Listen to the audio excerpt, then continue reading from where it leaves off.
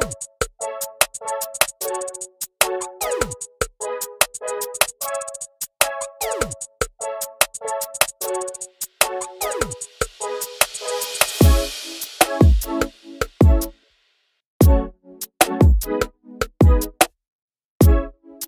what's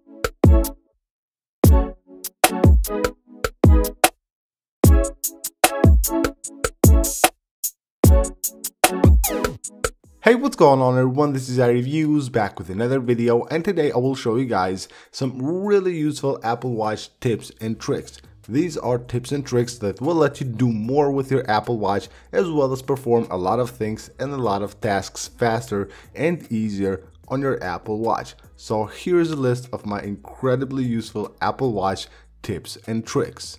The first trick has to do with phone calls. Now, when you receive a phone call, of course, it will show up here on your Apple Watch. Now, what you can do from here, so if you don't want to answer on the Apple Watch, you can just go ahead and tap on those dots right there. Now, from here, you can go ahead and choose to answer on the iPhone. So if you have like your phone somewhere around the house and you don't want to like answer on the Apple Watch, you can choose to answer on the phone. Now, if you don't know where your phone is, you will get this button once you tap answer on iPhone, you will get this button which allows you to ping the iPhone right there. So as you can see, from here you can go ahead and just transfer the call to your iPhone as well as ping your iPhone in order to find it faster.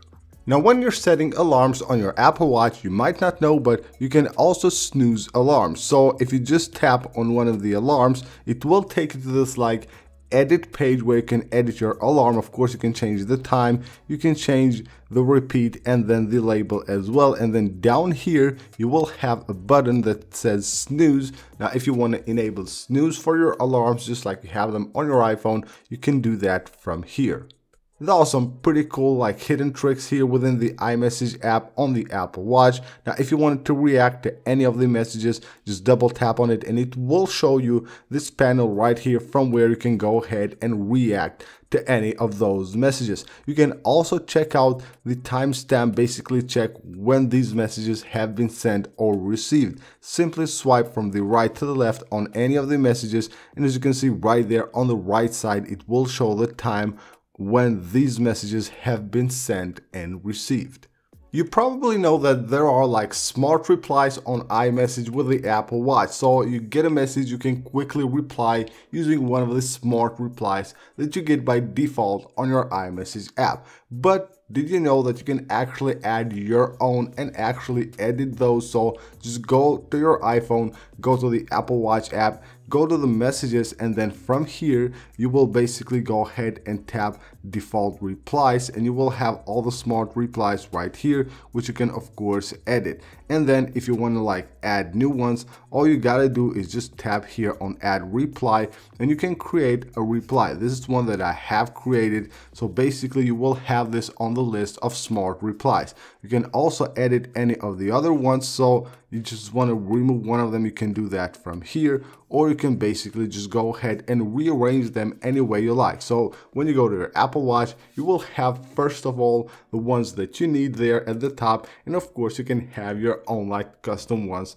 that you have created from here on the Apple Watch, if you tap the side button, you will go to a list of recent apps. That's basically like the app switcher on the iPhone. But did you know that you can basically turn that into a dock, just like you have a dock on your iPhone and have only your favorite apps show up there, not, not other apps. So what you have to do is go to your Apple Watch app on the iPhone and just tap on the dock and then you will have here two options for the dock. You have recents which basically is like an app switcher and then you will have your favorites. Now if you choose favorites then you can use that as a dock containing only your favorite apps. So what you gotta do here, just have the edit button and these are the apps that I currently have there. I wanna add one more, tap right there. I wanna remove one, of course I can tap remove or I can go ahead and just rearrange these apps.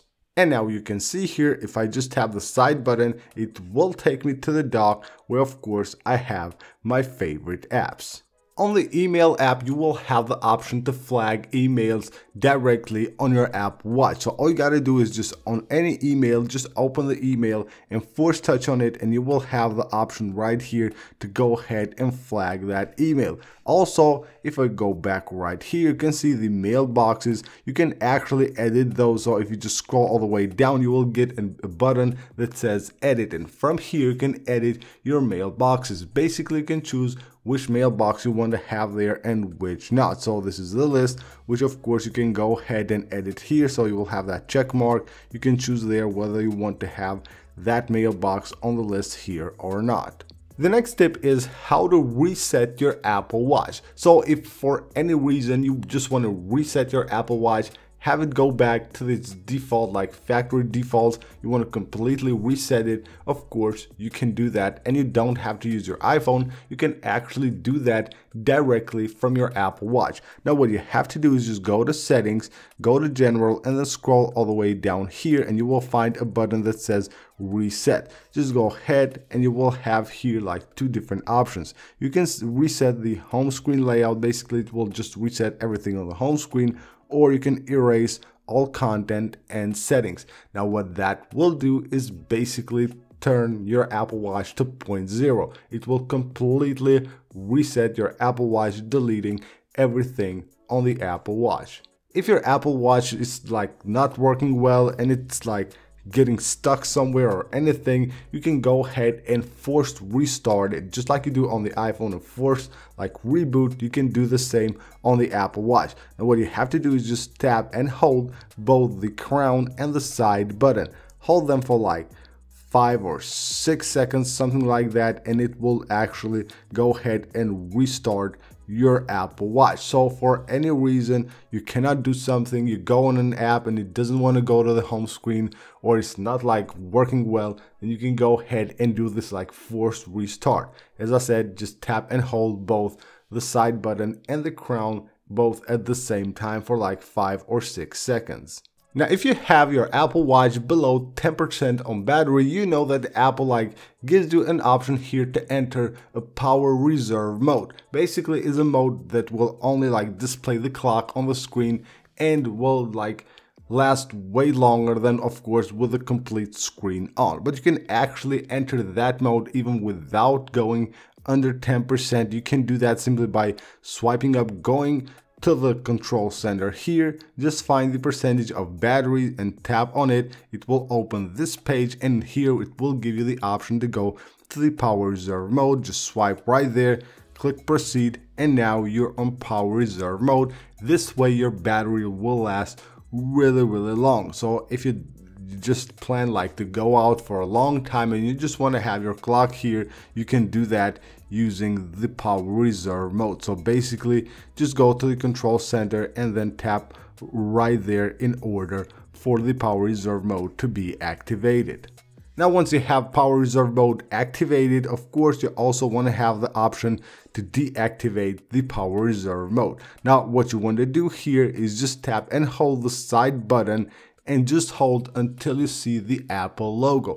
That way you will deactivate the power reserve mode and go back to the normal mode on your Apple Watch. So just tap the side button, tap and hold on it until you see the white Apple logo and it will go back to the normal mode.